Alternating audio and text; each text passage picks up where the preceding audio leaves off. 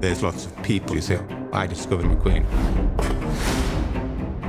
No one discovered Alexander McQueen. Alexander McQueen discovered himself. I wasn't very good at school. I was always drawing clothes. He was a very happy child. He was passionate. When Lee was 17, he said, I'll make you a couple of skirts. I've got to say, they fit like a glove. He was drawing from all of these influences. Jack the Ripper stalks his victims.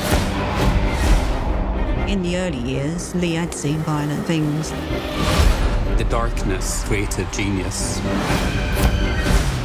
Nobody could create emotions like McQueen. You might find him distasteful, shocking, or misogynistic. He made every single headline. I don't want to do a show feeling like you've just had Sunday lunch.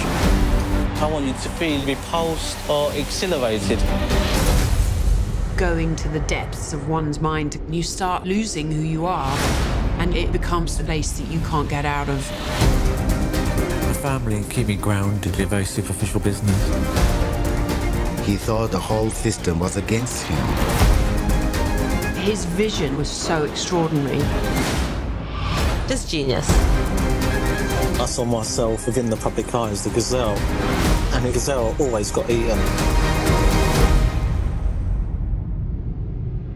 We can all be discarded quite easily. You're there, you're gone. it's a jungle out there.